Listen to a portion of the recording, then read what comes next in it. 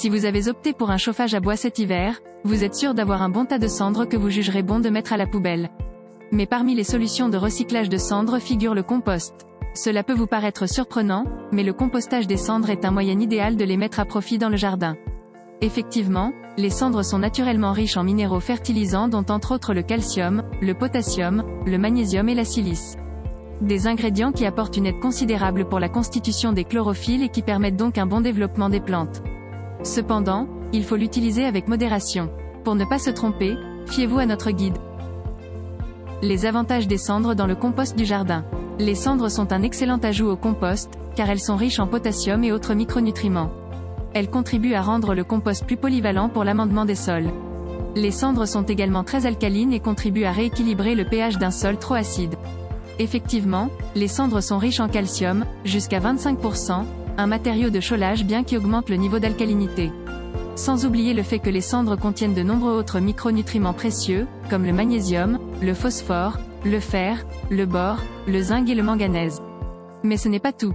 Comme les plantes ont besoin de potassium pour créer de la chlorophylle, les cendres en contiennent jusqu'à 10%. En gros, cet apport va permettre un bon développement des plantes, tout en les rendant plus résistantes aux maladies. Mieux encore, le compost fait avec des cendres aura un spectre plus large de nutriments. Plus la variété de matières organiques que vous mettez dans votre compost est grande, mieux il peut reconstituer les nutriments dans le sol. Autre atout considérable, les cendres neutralisent les mauvaises odeurs dans le jardin. Il faut toutefois savoir que les cendres peuvent fortement affecter les niveaux d'acidité. En outre, elles contiennent des sels solubles, qui peuvent être potentiellement dangereux pour les plantes. Pour ces raisons, il peut être plus bénéfique de mettre les cendres dans un bac à compost plutôt que de les répandre directement dans le jardin. Toutes les cendres sont-elles bonnes pour le compost? La réponse est non. Tous les types de cendres ne sont pas idéaux pour le compostage. Seules les cendres de bois non traitées issues de poêles à bois et de cheminées peuvent être utilisées en guise de compost. Vous l'aurez compris, le résidu poudreux qui reste après un feu de bois dans les poêles à bois et les foyers est bon à composter. Mais, n'oubliez pas que le type de bois que vous brûlez a également une légère incidence sur le niveau de potassium contenu dans les cendres. Par exemple, le bois jeune aura une teneur en potassium plus élevée que le bois vieux. D'un autre côté, il est important que le bois utilisé lors de la combustion n'ait pas été traité chimiquement, excluant donc le bois peint ou verni ou encore les palettes. Les cendres de charbon, de barbecue ou des cigarettes sont également à éviter pour composter un jardin. Autre question, est-ce que toutes les plantes peuvent profiter des cendres en guise de compost? Ici encore, la réponse est non. Certaines plantes dont les acidophiles, érables du Japon, azalées, rhododendrons, sont très sensibles à cet apport de calcaire. Par contre, les cendres profitent aux légumes, aux petits fruits, aux rosiers, aux arbustes à fleurs et aux bambous au printemps. Les précautions pour utiliser les cendres dans le compost. On commence par s'informer sur la période idéale pour utiliser les cendres en compost, généralement en mars et avril. Si vous le faites trop tôt, la cendre peut être facilement dissoute par la pluie. Avant d'ajouter des cendres, ou tout autre amendement, d'ailleurs, à votre jardin, veillez à faire analyser votre sol à l'aide d'un kit que vous trouverez facilement sur le commerce.